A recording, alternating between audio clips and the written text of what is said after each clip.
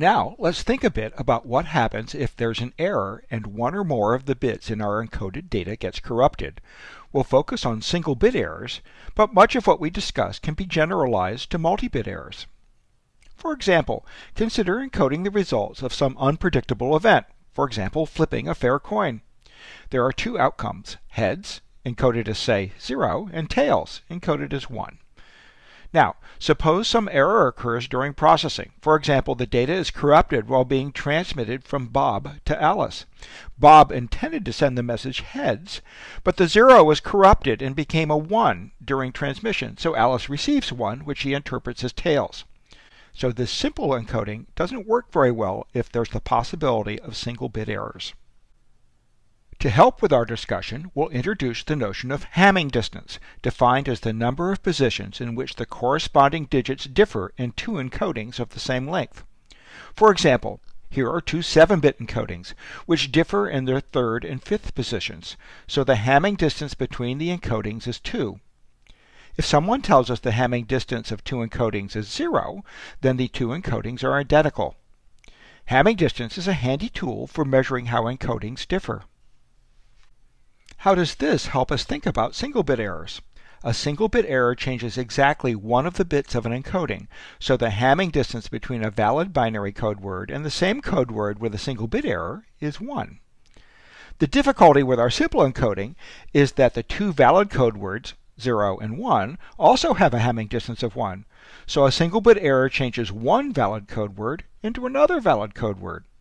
We'll show this graphically using an arrow to indicate that two encodings differ by a single bit. In other words, that the Hamming distance between the encodings is 1. The real issue here is that when Alice receives a 1, she can't distinguish between an uncorrupted encoding of tails and a corrupted encoding of heads. She can't detect that an error has occurred. Let's figure out how to solve our problem. The insight is to come up with a set of valid code words such that a single bit error does not produce another valid code word. What we need are code words that differ by at least two bits. In other words, we want the minimum Hamming distance between any two code words to be at least 2. If we have a set of code words where the minimum Hamming distance is 1, we can generate the set we want by adding a parity bit to each of the original code words. There's even parity and odd parity. Using even parity, the additional parity bit is chosen so that the total number of 1 bits in the new code word are even. For example, our original encoding for heads was 0. Adding an even parity bit gives us 00. 0. Adding an even parity bit to our original encoding for tails gives us 1 1. The minimum Hamming distance between code words has increased from 1 to 2. How does this help? Consider what happens when there's a single bit error. 0, 0 would be corrupted to 0, 1 or 1, 0, neither of which is a valid code word. Aha! We can detect that a single bit error has occurred. Similarly, single bit errors for 1, 1 would also be detected. Note that the valid code words 00 and 11 both have an even number of 1 bits, but that the corrupted code words 01 or 10 have an odd number of 1 bits we say that corrupted code words have a parity error. It's easy to perform a parity check. Simply count the number of ones in the code word. If it's even, a single bit error has not occurred. If it's odd, a single bit error has occurred. We'll see in a couple of chapters that the Boolean function exclusive OR can be used to perform parity checks.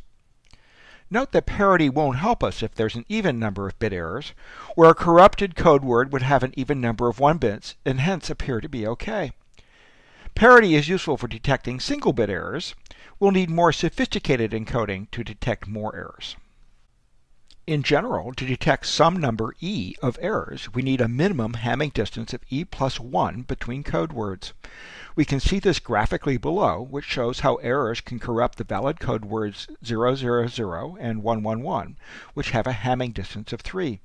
In theory, this means we should be able to detect up to 2-bit errors.